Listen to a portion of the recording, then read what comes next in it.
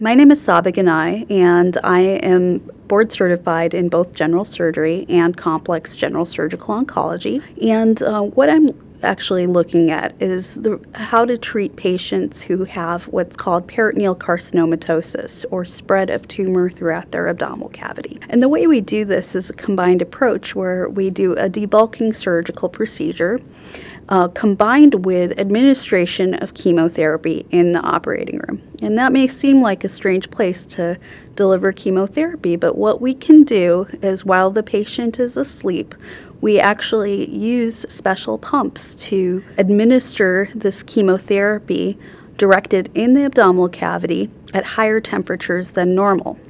The other benefits of this approach is essentially that we can limit the toxicity or the bad side effects to the abdominal cavity, and we can actually give a higher dose of the chemotherapy drug directed where the tumor is. Examples of these tumor types include appendix cancer and peritoneal mesothelioma. And um, there are also indications to the, do this kind of treatment for carcinomatosis from colorectal cancer as well.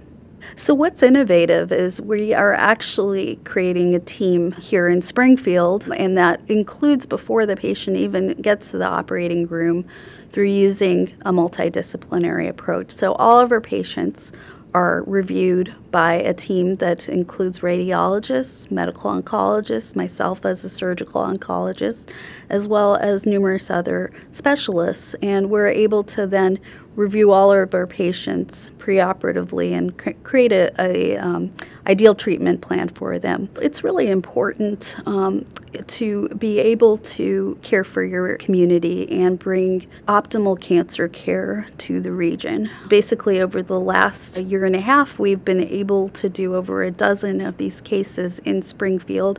These are patients who would otherwise have to travel to Chicago or Pittsburgh or Washington, D.C. to get the same level of care.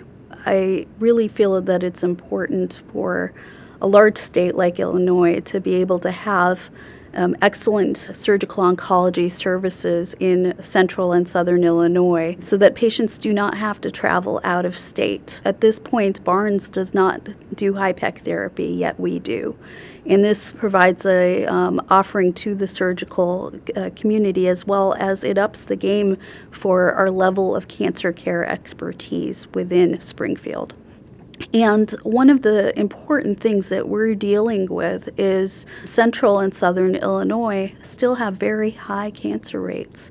And I think we uh, still have a lot more work to do to be able to better address the needs of our communities in terms of screening as well as effective treatments for patients with cancer.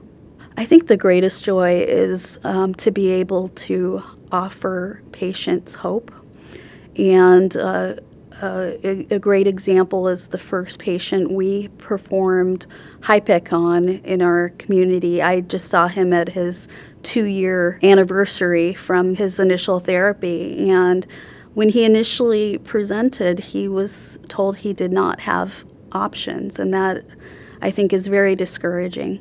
Um, you know, at, at, this point, he has no evidence of disease. Ideally, what we want to offer patients, uh, not just hope, but a chance for cure.